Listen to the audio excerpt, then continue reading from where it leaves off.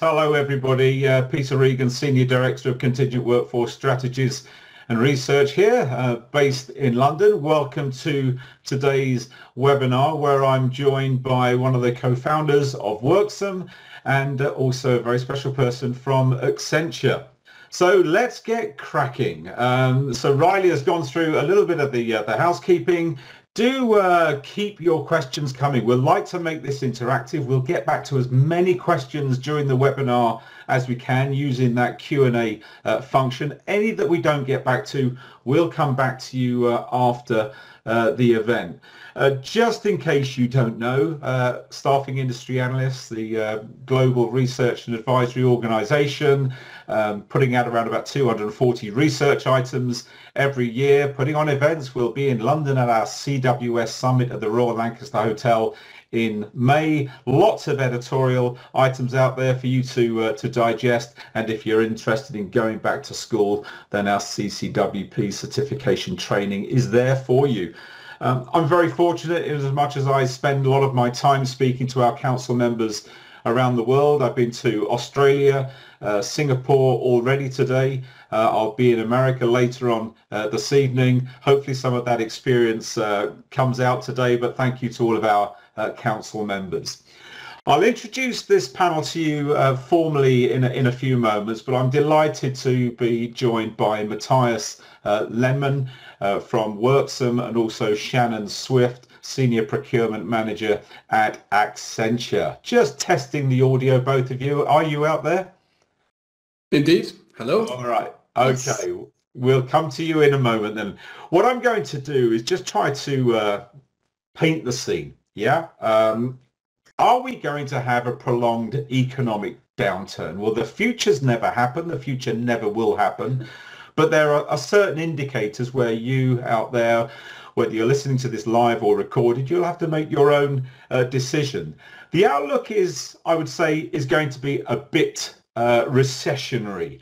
Uh, this report here, this is what the World Economic Forum uh, put together. And these are the risks that over 1,000 global leaders say have worsened since the COVID crisis. You see that they're split out across social, technological, technological, economic and environmental issues. I don't want to get you down too much by reading through them all, but clearly there are a lot of things in the world that are getting worse. Uh, if we look out to 2023, we kind of see 2023 as being a year of two halves.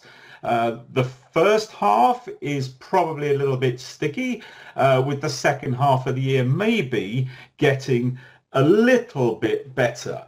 Um, this data that you see here, which is GDP growth uh, across some of the European major markets, is what we use to base our staffing estimates on. Um, the World Bank estimates that the world economy is going to be growing at its third weakest rate in three decades. Uh, clearly, you know, driven by the pandemic, the global financial crisis, uh, the war in Ukraine. And if we do dip into a recession, it'll be the first time in over 80 years that we would have experienced uh, a recession, a second recession in the same decade.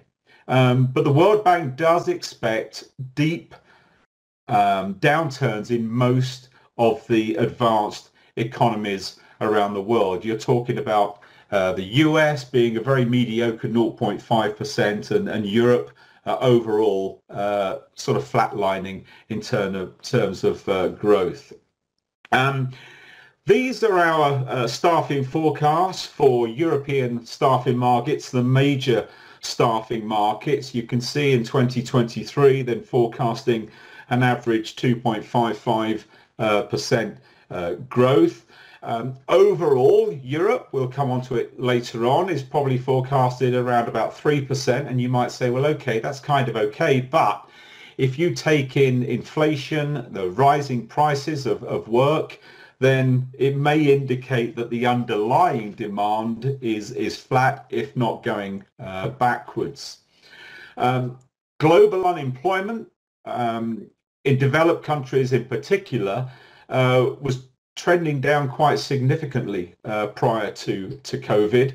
Uh, Europe, apart from Italy, uh, is at an all-time um, low in terms of unemployment. It's doing very well. But the big issue, is it going to continue? And that's going to be part of uh, our conversation today is that what do we do during a potential long-term economic downturn? But there is some bright news as well. We're, we're seeing the growth in platforms. If we think here, we're talking here about temporary staffing platforms, uh, you know, what were marginal uh, offerings are now become mainstream. If you look at on the left-hand side, the growth in traditional staffing, non-platform staffing growing at 2.3%, whereas obviously from a lower base, uh, platform staffing increasing uh, in 2022 by 75%. It was even more than that uh, the year before, um, with a huge drive for, for, for healthcare in particular.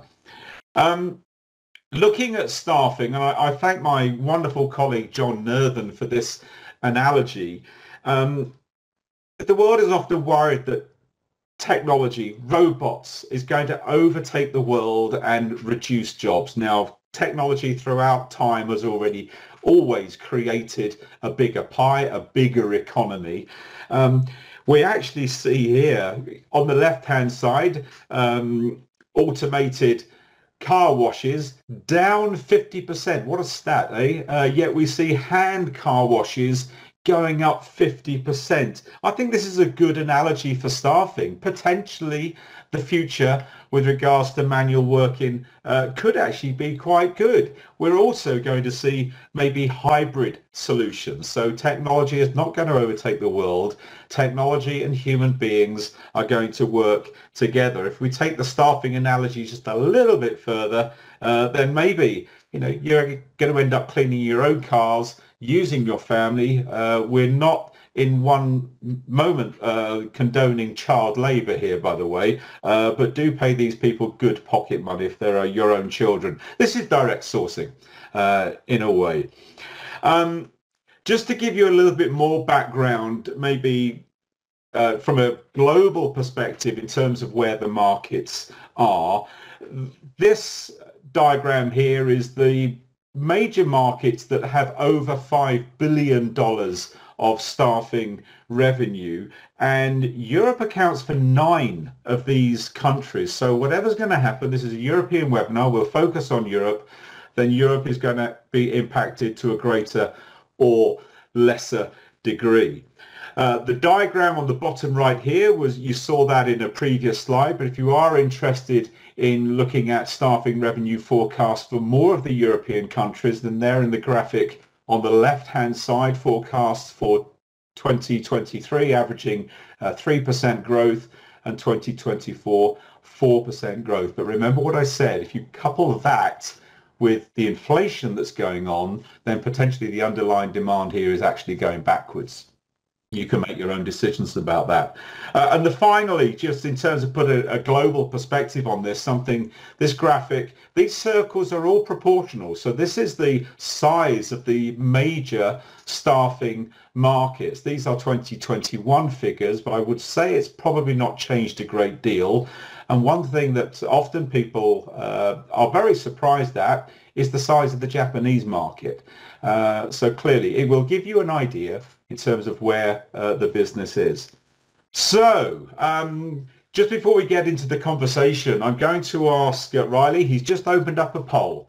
You can read this. What are the most important objectives for you in 2023?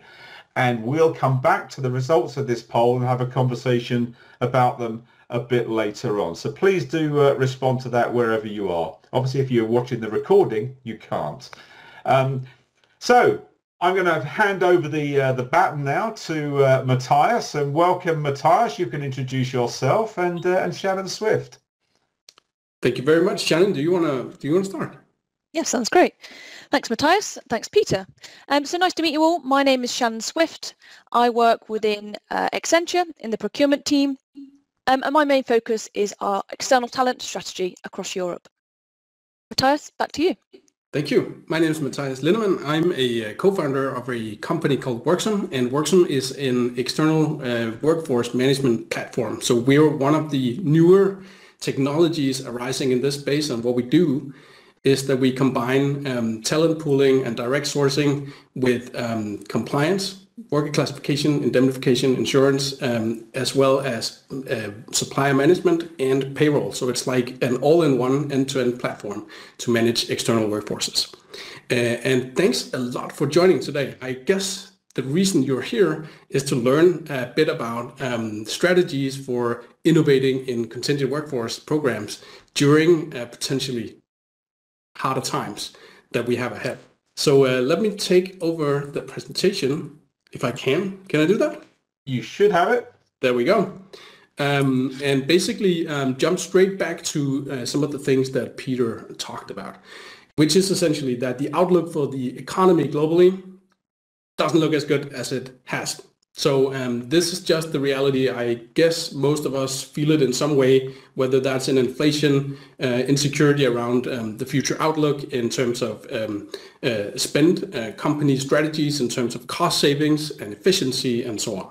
And today, um, what we're going to cover is um, topics that relate to this in terms of how to innovate contingent workforce programs. So we're going to touch on things like cost savings, efficiency, technology, compliance, and regulate, regulatory environments uh, globally, and basically trying to wrap up uh, in a conversation around what does this mean for um, contingent workforce program leaders, and how can you take um, this current state of the world and turn it into a competitive advantage when it comes to tapping into the flexible workforce?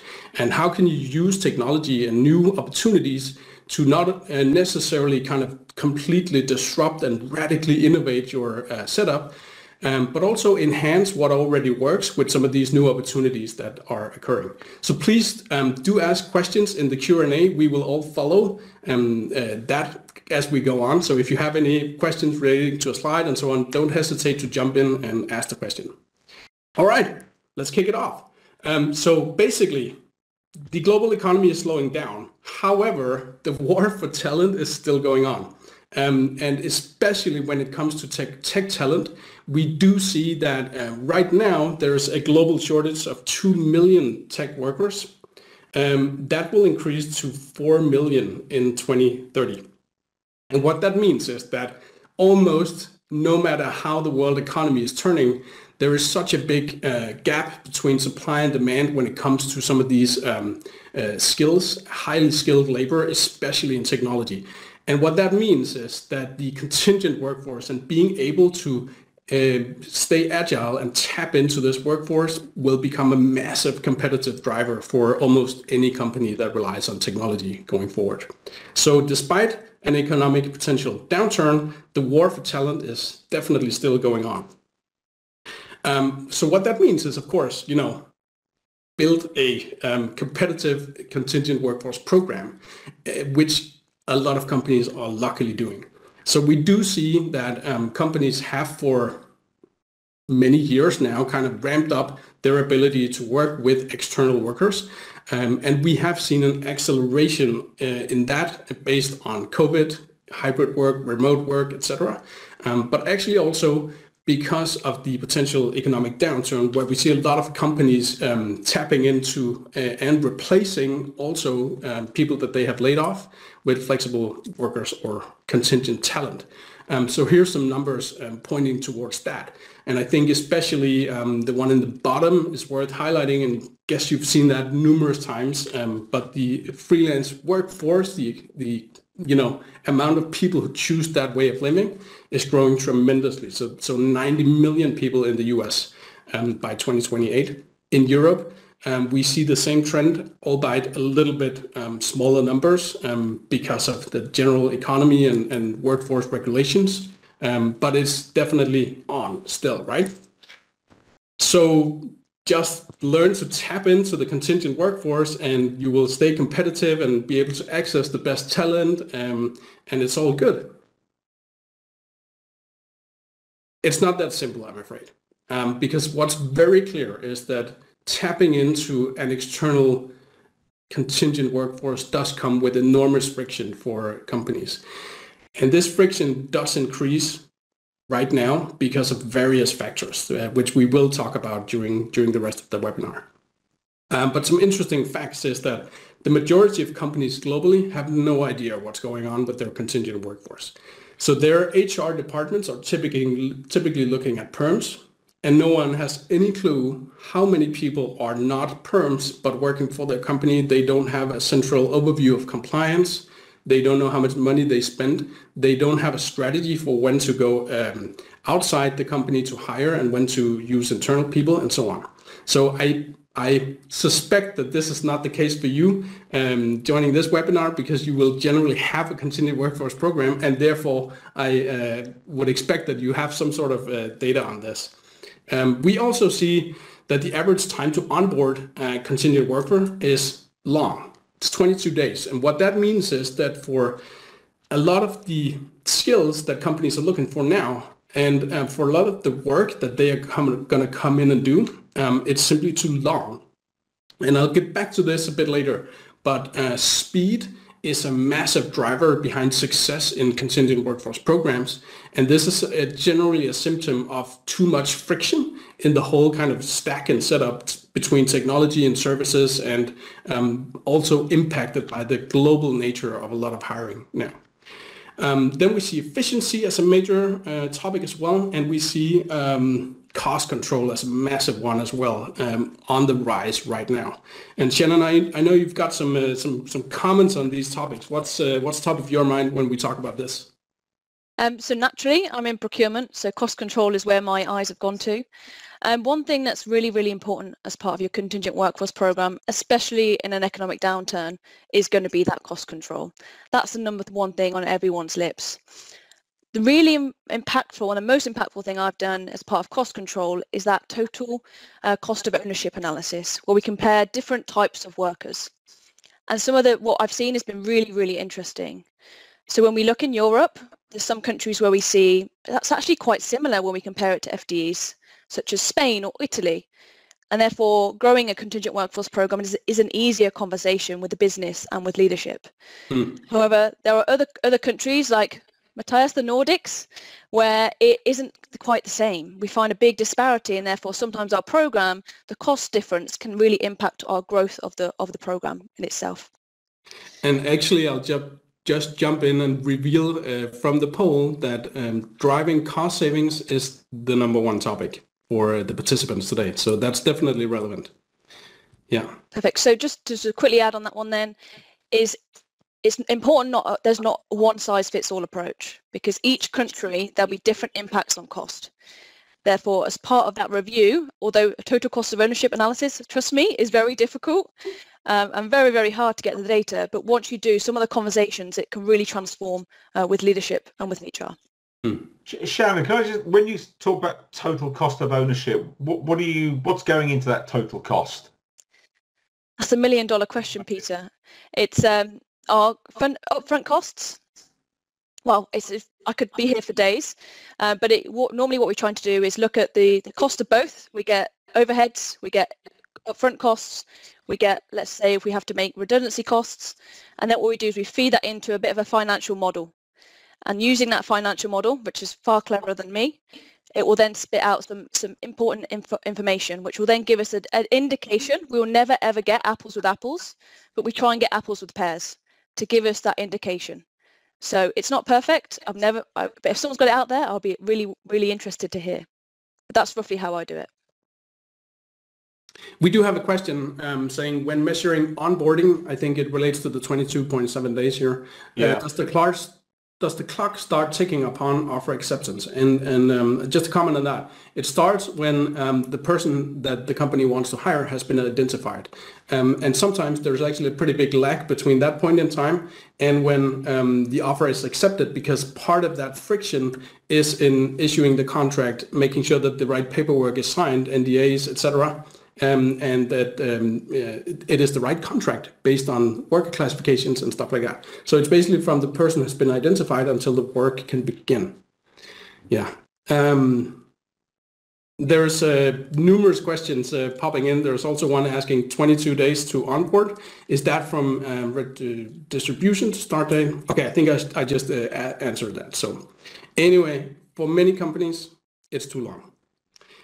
I'll move on now um, to just speak about some more, um, I guess, high-level um, dangers, we can call them, not to, to throw too much uh, wood on the fire here, but um, essentially what is very clearly going on um, globally is that compliance is on the rise. The reason, the root cause for that is because when the um, flexible workforce, the freelance economy, gig economy, all these parts of the workforce combined, when that is growing, it is incredibly important for governments to have control over how these people are taxed and how this work is taxed because if they don't they lose out on massive um, tax revenues. So that is the root cause for um, that we see legislation such as IR35 we see um, a massive um, influx of new regulation in the US um, we see uh, DAC 7 in the EU basically trying to kind of take control more over uh, this part of the workforce. Um, and we do see an increase in audits from the IRS and the HMRC um, because they really want to have control over this. So that's something to really, really keep in mind when innovating um, the programs that uh, that's that's here to stay and actually increase. Um, then we also see that lots of companies struggle with legacy technology. So this um, little graph, the only real thing to note here is basically that the lines, the chart go down. What that it means is that um, generally companies are not really satisfied with their technology that they have to manage contingent workforces. So these are MSPs and, and, and VMSs. Um, and I think it's well known in the industry that there is a lot of scrutiny around like what does the best technology stack look like today and how do you build one that is geared towards um, being you know efficient in in the future from here? Um, and then we see legacy processes based on these two other things because when all the complexity arises on this um, you'll have to build processes around that to manage and that results in um, slowness and uh, increased cost and, and rigid operations um, Shannon, what's your what's your comments on, on, on all of these seen from um, the real world? So from a Europe perspective, I probably am naturally biased because I'm sat in Europe, but I think compliance is particularly tricky, um, more so in Europe than other markets. Um, the reason I say that is because it just feels like constant change, and I'm sure everyone on this call is feeling the exact same. Um, even now I'm seeing in Spain, they're going in one direction where they are focusing on making it more difficult to hire contingent workers, where Italy are going the opposite direction. So even within one market, which is Europe, there are people doing different Italy things. Italy can't make it any more difficult, can they? I know. And then obviously IR35, they were scrapping IR35 and then they scrapped the scrap. Um, so it's just constant change. So it's about making sure that your contingent workforce program is agile. I think that's the buzzword that I'm probably going to say today a lot. Is because otherwise, it's if it's inflexible, it's going to take a lot of work every time there's change for teams to adapt and really understand what what impact it is going to make. Mm. Um, and then on tech, I would say is that it's a really tricky tricky balance to make because on one side you've got the business users they want an amazon-like experience we've got suppliers that we want to come and work with us We've got also talent who we want to work with. And we want everyone to have a really easy process. But me in procurement or those of you in HR, our focus is on data. We want as much data as possible. So it's tr- tricky trying to find that balance. And that's probably the biggest challenge that, that I see with, with, with legacy tech. Mm. I, I really like these three pillars. If I could just come in a second, because if if if we if we are going into an economic downturn, if that happens, then typically speaking, there's going to be an awful lot of work of offloading people and whatever at the outset. But then it's potentially going to be quiet. And the idea is is to make sure that you come out of that downturn in a better position than what you went in. So I don't think there's any time like now is when you should be thinking, how would we look at these things if we had more time on our hand to look at our compliance legacy tech uh, and processes to come out the other side. So this is all about preparing. And then if we don't hit that economic downturn, you're still got a roadmap to address these things. But absolutely, in an economic downturn, look at these things to come out better the other side when you need to start ramping up more efficiently. Yeah, Totally agree. And I think uh, just to, to turn back to compliance, that's going to be a massive driver behind innovation here because that is generally one of the biggest blockers to working efficiently with um, with contingent workers. This is just a very recent piece of news um, where it turns out that Deel has um, classified a ton of their own people as independent contractors, including the CEO. And what this generally means is that there will just be more eyes on how companies deal with and classify and tax and pay their um, contingent workforce for sure. Um, and what we also see is that um, so we work with companies in all kinds of industries and um, typically very large companies that have global operations. And um, we hear so many stories about how companies cope with this. Um, so uh, are some examples. Companies putting everyone on payroll to make sure that they are compliant. Companies only hiring SOWs to stay outside of IR35.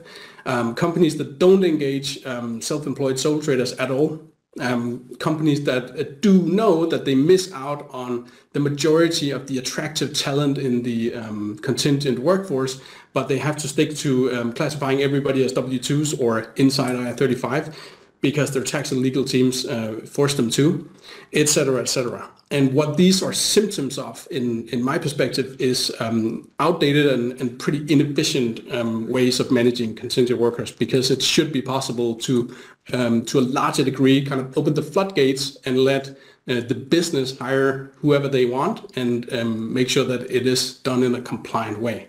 Um, Shannon, I know you've, you've got some war stories about uh, some of these as well.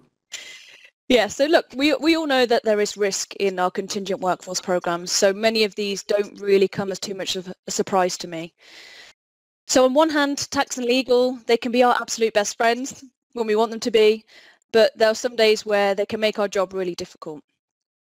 So one thing that's really helped the program that I've ran is being close, building relationships, because then I try and see, I, I get a little bit more flexibility because our aim is to find talent quickly at a cost competitive rate and that's high quality. And some of the things that they put in place, the barriers, make that far, far more difficult. So mm. working with them early and when there is change in compliance, working with them quickly and making sure you build something that's a, a little bit more flexible because sometimes if it was up to them, we wouldn't be able to find talent externally at all. Yeah. So that's just one tip from, from what I've seen. Yeah. I agree. There's a question saying, uh, what is the recommended engagement model for ICs, for independent contractors? Is it time and material, uh, or is it a fixed fee uh, slash statement of work? Um, to give my answer, I think that the right engagement model is whatever is right for the project.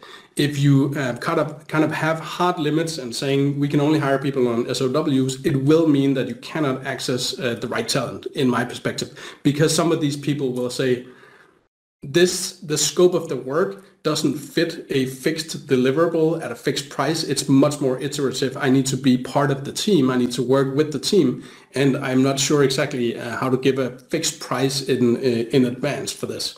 Um, so I think it's definitely important to be uh, flexible and, and allow to hire ICs on both types of contracts. And, and it's also important to think that uh, the definition of an IC may well vary from one country to another. So if we're thinking of compliance, I mean, typically, you know, are they under your supervision and control? No, they shouldn't be. Are you their only uh, client? No, you shouldn't be. Are they doing work that's core to your business? No, they shouldn't be. Uh, but most countries will have a definition of IC. Um, but I kind of agree with what you were saying then, Mathias, for sure. But make yeah, sure the definition is correct. And I think also um, a lot of companies are in a situation where the um, contractors that they hire are doing work that is very core to their business. Yeah. They are sometimes the CEO hired in for uh, six months to uh, manage the turnaround or two years or whatever. Um, the board of directors are very often contractors, etc. So it's it's very very blurry how you define uh, who's an, a perm and who's external. Um, and it's super, super important to be agile, as, as you mentioned, Shannon, so you can allow your company to basically focus on finding the best and most relevant people uh, to work with and then make sure they, they are hired and paid compliantly. And again, coming back to you know what to do in the downturn, you mentioned IR35 there, and, and other legislations like that around the world. If your company is averse to ICs, in that downturn, then that's an opportunity to start looking at this. And again, as I say, when you come out the other side, you may be in a better position to embrace this talent because we at SIA believe there's a huge future in ICs. And mm. if hmm. you don't embrace them, you're potentially going to be missing out on some significant talent. Yeah.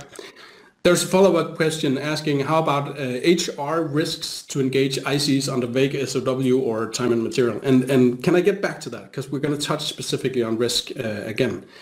Um, another symptom, uh, I think, of, uh, of programs being ripe for innovation is if, if the technology slash the service and experience is very disjointed. Um, imagine if you have um, when someone is hiring a contractor, if they really do have to go through numerous systems to manage posting requisitions, getting approval, um, doing the contract NDAs, raising POs, um, managing timesheets and payments and stuff like that. If that's all kind of really, really disjointed, then that is uh, definitely something that um, you should look at and optimize and try to bundle together in, in fewer technologies and platforms and work with integrations, etc. Um, so what are we supposed to do? The economy is going uh, going down. We want to tap into the contingent workforce, but it's so difficult, and the compliance is increasing, and uh, and oh no, but there's got to be a way. And uh, WebEx couldn't uh, manage uh, GIFs that were alive, but uh, these were a bit more fun when they were moving. Anyway, you get the point where I'm where I'm heading. So uh, for the rest of the webinar, we're going to touch more on like so what to do about all of that. Like what's the best practices here? What are some of the possibilities with new technology and so on.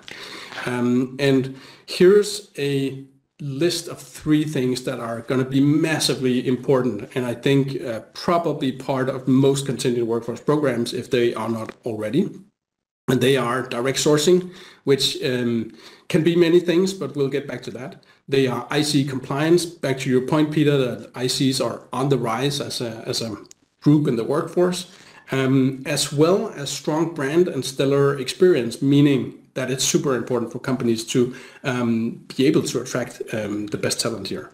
Um, and Shannon, I know you have also a, a million uh, good uh, points to, to raise on these, but is it okay if I just quickly touch on e each of these in terms of what's uh, what's what are we really talking about here, and why is this important, and a good time to um, to look at these things particularly um, in these this economic environment.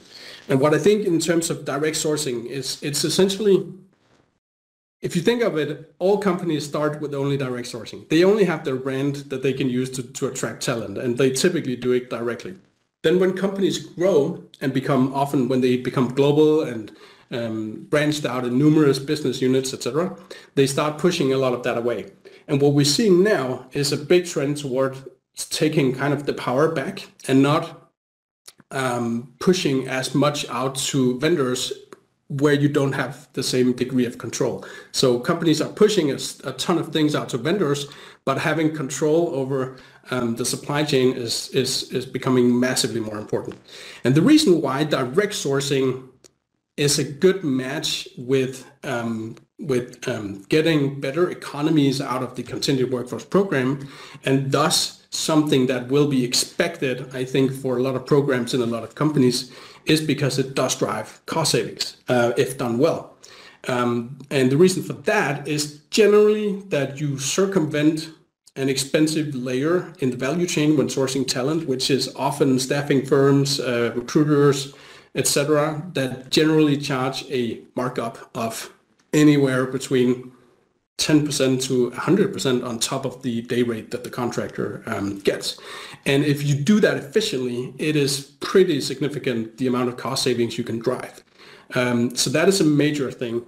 Um, the other thing is that it does often give access to um, faster access to the talent that the business needs if done well. Um, and it's efficient if done well. The challenge is, is that it does require a bit more on the company often because you sit on more of the process yourself. And that brings me over to IC compliance. If you want to source efficiently in this economy and flexibly, meaning that you generally also have um, give the business the ability to source talent from wherever they want, then um, more compliance sits on you, uh, or you will at least have to control that it is done correctly um, with the value chain. So that is a massive, massive uh, component of doing this right. And again, if you want to do uh, this right and basically reap the benefits of, of, you know, being able to source talent flexibly like this, it does require a strong brand and a stellar experience. And if you don't have a strong brand, which there could be many good reasons for, or you just have a, a strategy that is not based on branding as a company, then it does uh, come down to um, scoping projects as interesting towards that talent and making sure that you really give a very good experience um, to these people when they meet your company, when they are onboarded and working and offboarded as well. Shannon, what do you think about um, the things I just said? So I've just got a few other points to add to, the, to this topic in terms of winning uh, during an economic downturn.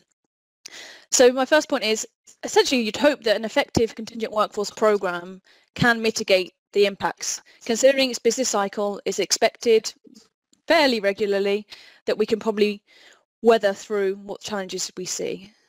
But I've just got three things that I think are really important. So the first is when this happens, there is a there's an immediate need to reduce cost and increase flexibility. And first of all, we do turn to our contingent workforce because some of the benefits are that they are flexible. So in the short term, you probably will see a reduction in your contingent workforce, the size of the program at least, um, and that's something to prepare for. I think, but one thing I would say is that when growth does come back, normally it's contingent workers that come back quickest. So normally you don't have as much time as you think you have. But when you do have that time, to Peter's point and to Mathias's point in the middle here, is time to clean the house, time to do housekeeping, review processes, potentially look at audits, look at the external market, what's changing, what are your peers in industry doing, what are, the, are other industries doing even. So now is the now is the time when your volumes are down, when you're not running around crazy trying to find talent here, there, and everywhere. That's where I would really, really focus because when growth comes back, we all know that we'll be running around again, just trying to really, really focus on on that topic, and we won't have a chance to look at the things uh, that we really need to. And essentially, it sets up our program for success. And then my kind of final point is around procurement and HR can be very, very popular in times of economic downturn. Um, so it's a real opportunity to show value, to show what we can do and deliver for the organisation. But also it's a ch- chance to reset with leadership on what your workforce strategy is. Does, does your workforce strategy need to transform? For example, do you want to set targets on your percentage of FTEs versus your contingent work- workers?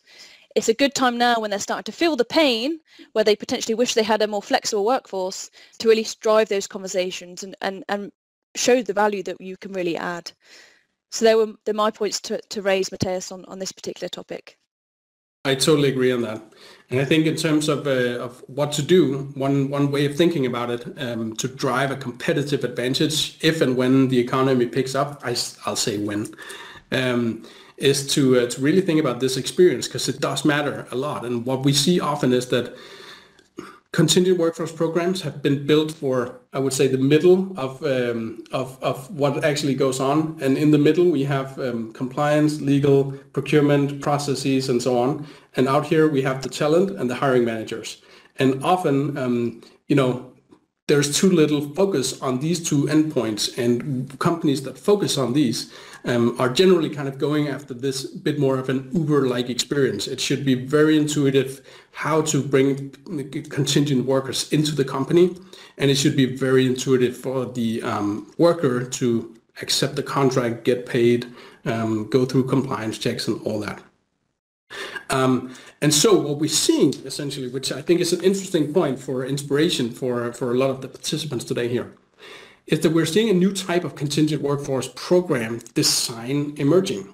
A um, design where companies don't necessarily have an MSP. If they have one, it's typically a you know very forward thinking one. There are some uh, very innovative new MSP models um, emerging, uh, or it's an uh, internal MSP. Um, we see that they typically don't have a traditional VMS because um, these companies are focusing on the people in that value chain less than the vendors. Um, I'll get back to that. Um, and the um, companies that go for this type of setup is typically hybrid companies. It's um, companies that are typically in, in need of fast-moving talent uh, across media, advertising, gaming, software design, etc. So it's it's typically companies that operate in a very competitive market where um, it's about finding that stellar developer, um, and they should typically have uh, been onboarded yesterday. And I think this is pretty interesting because these models are generally built with kind of three things in mind. They are built for speed. That is a massive thing. That is also a reason why often there is no, not necessarily at least, a centralized function that sources the talent and so on. They're built for speed by connecting the hiring manager directly to the talent as fast as possible. They're built for minimizing risk.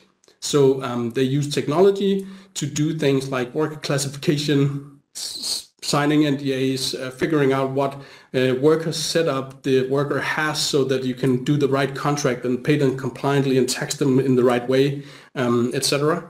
Um, and they are uh, very cost efficient because they generally have um, not a lot of layers in that whole supply chain, not a lot of kind of um, patchwork designs in terms of systems and technology and, and all of that.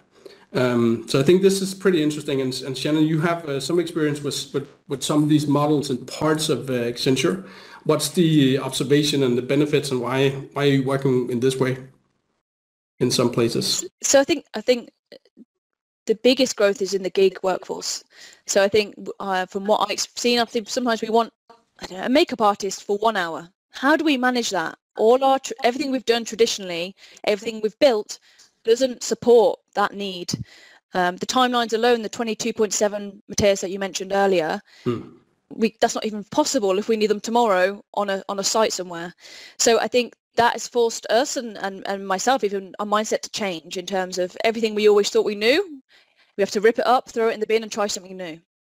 And that is part of what my focus is at the moment is what options are out there? How can we do it? How can we go from 22.7 to one day? How is hmm. that possible? So I think that that's probably a challenge, and I think that that challenge is even going to grow over time. Yeah, I agree. And this is uh, this is what Worksome does: uh, build technology that can basically manage this process end to end. Um, and we do work with lots of companies um, that have this as their technology driving the contingent workforce, but um, companies that have uh, typically much more complex and mature programs running can reap really the same benefits. And um, you know, it's again about focusing on speed, risk, and costs, um, and it's often driven by a want from the company to really nail direct sourcing, um, build up talent pools, be able to curate the talent between different business units, be able to share the talent between regions, countries, offices, um, departments, etc. Um, and again, to really do that efficiently, um, it's very important to have systems in place um, that can manage the independent contractor vetting, compliance, worker classification, etc. Because um, that is going to be a massive uh, driver, I think, um, and a massive cost savings driver as well. Um, and it's also really, really important to limit the, the, risk exposure in this because more risk will be sitting on you as the company unless you kind of put it, um, you know, in the supply chain at the right place. And that can be done with the, with technologies such as ours and, and others, but where you basically say, as long as we source talent and contract them and um, engage them via these technology platforms, we know that it is done compliantly, it is indemnified, it is insured, um, so that the, the people managing the talent on the platform, they cannot do wrong. The technology will make sure that it is compliant. Anything to add here, Shannon or Peter?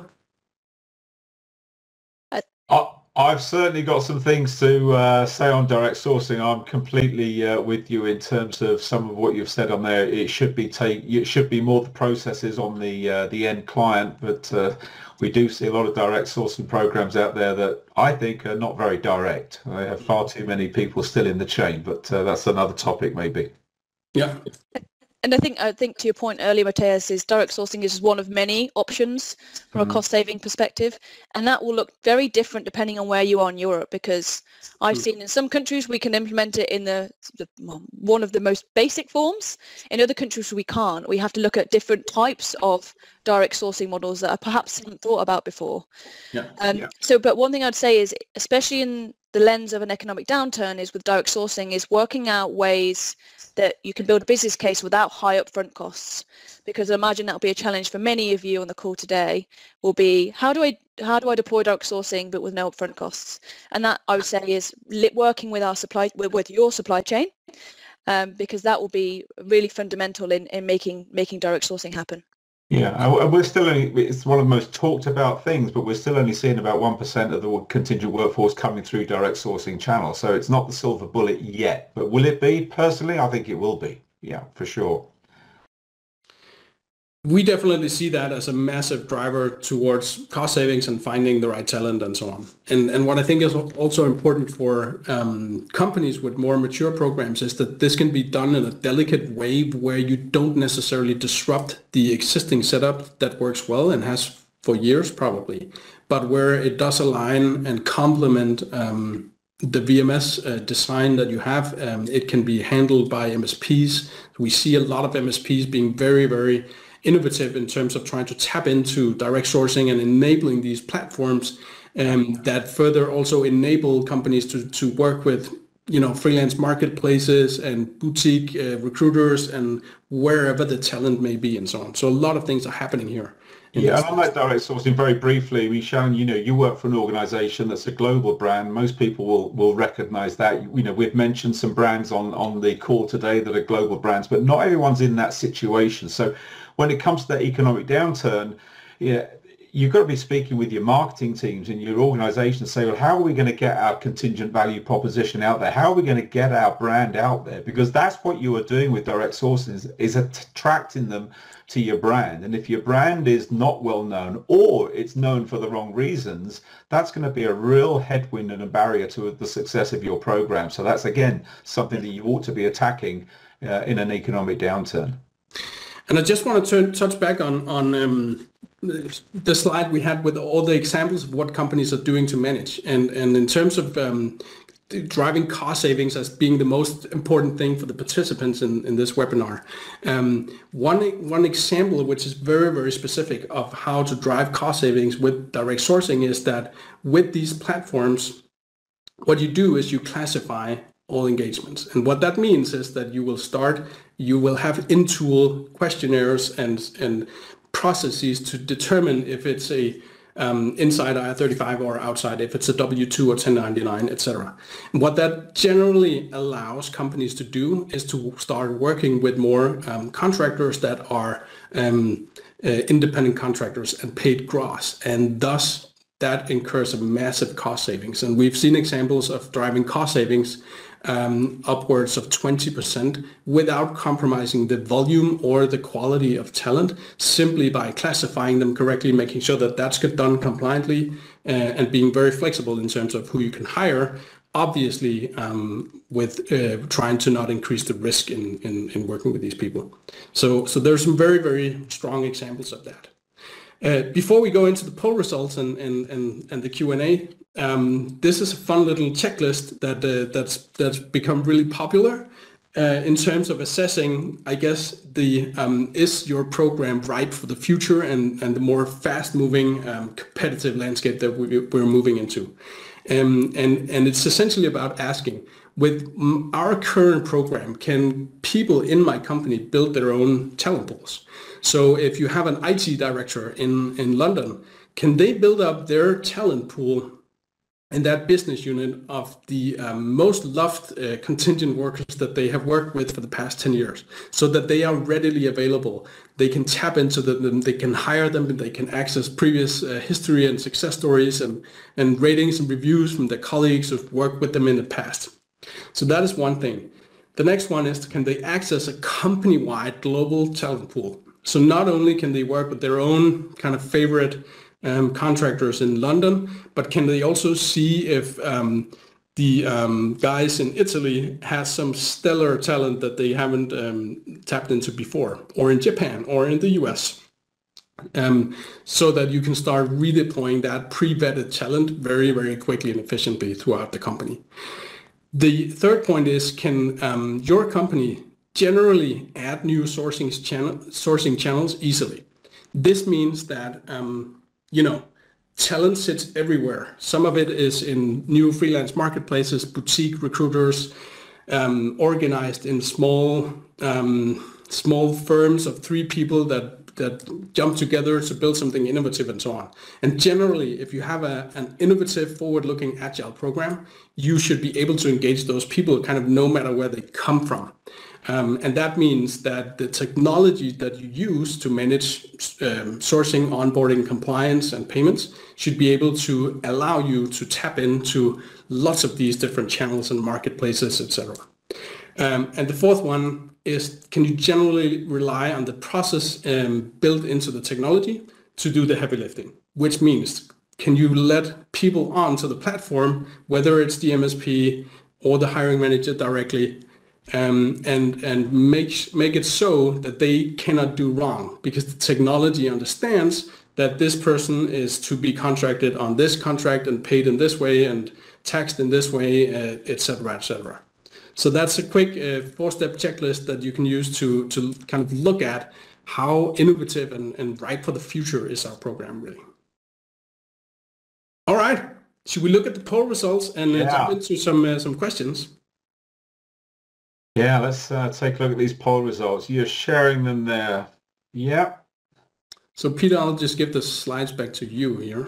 Yeah, I'm just going to put my polls into a new window here so I can uh, throw this up. So it looks like um, 51%, as you said, you saw this early doors. I hadn't seen these yet. Uh, drive cost savings, uh, that's significant. Uh, faster, more robust processes, so driving efficiencies, being able to do things uh, faster, uh, better access to quality talent. We'll come on to that in a moment. They're the, they're the three top ones. Uh, increase the contingent workforce. Well, that's not uh, looking like it's a goer in 2023. Only 12% of you are saying that you're going to be increasing your contingent workforce. Interesting.